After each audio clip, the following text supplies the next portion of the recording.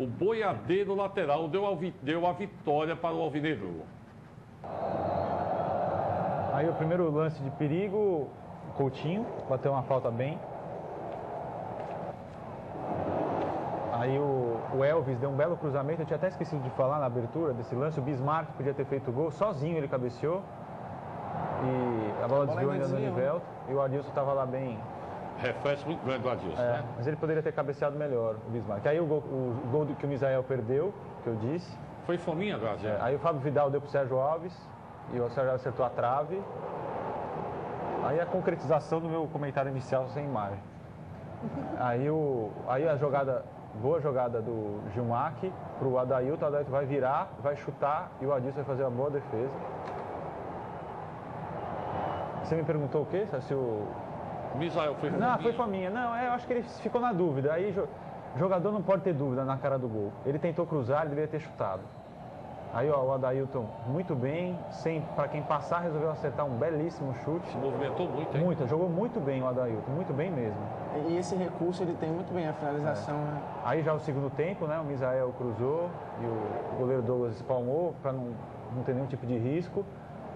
Se o gramado do Castelão, se tivesse chovido mais, ia ficar bem pior. Aí ó, a bela jogada do Edu Salles, aí o Chicão vai perder o gol, é incrível. Uma belíssima jogada do O Edu detalhe é Salles. que o Diguinho ficou com a mão na cabeça ali, torcendo, né? O Chicão, Rezando. o Chicão realmente você vê que não tem, Atrasou a bola, não tem né? cacuete de, É. de jogador finalizador. Mas a Aí o- defesa do Douglas foi sensacional. né? Aí o Gaibu, você vê que uma bola, a bola é a pior bola pro goleiro. A bola bateu ali não- e foi muito no cantinho, né? Quer dizer, não, não dá para falar em falha do goleiro em momento. Eu espero que não queimem o rapaz. Além disso, a bola com o gramado molha- molhado, ela quica e ganha velocidade, né? É. Aí que foi a besteira, aí ó, o, o- o Edu Salles fez, é, não podia ter feito isso jamais, né? Aí o, e o Diguinho muito menos, essa agressão ridícula. O, o Lucas Leite da Rádio Povo disse muito, foi muito claro. A punição do Edu Salles foi por atraso de jogo e o Diguinho por uma agressão nítida Exatamente. na cara do juiz. Quando o Lucas me perguntou, aí a expulsão correta do Fábio Vidal, é falta já de, tinha amarelo, né? Falta de recurso total, já tinha amarelo. E, e essa falta poderia ser vermelho direto, mas ele tomou o segundo amarelo. O quando o Lucas me perguntou, na hora dessa confusão, aí eu falei, ó, O Adilson, o Adilson ele, dá, ele, é, ele é o reflexo É. co- como a expulsão foi justa. é. Aí o gol do Adailton, né, de cabeça, uma falha da zaga, agora méritos dele que se antecipou, você vê que é um jogador realmente que tem um potencial incrível, bem, viu? né? Tem um potencial incrível esse menino.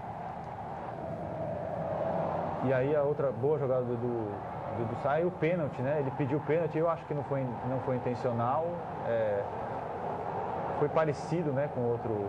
Eu, eu, sinceramente, honestamente falando, não vi, vi intenção. Aí o belo passo de calcanhar O passe do Edu Salles É. foi sensacional. e aí o chute do boiadeiro. O Douglas ficou uma arara também. Agora, aos Graziani, o 45. que as pessoas questionam também é que o Luzimar, no meio de semana, contra Deu o pênalti. deu né? um pênalti no lance É. idêntico. Então, É. assim, eu acho que o Luzimar sentiu a pressão do, de ter tido muita reclamação do pênalti no meio de semana. vamos falar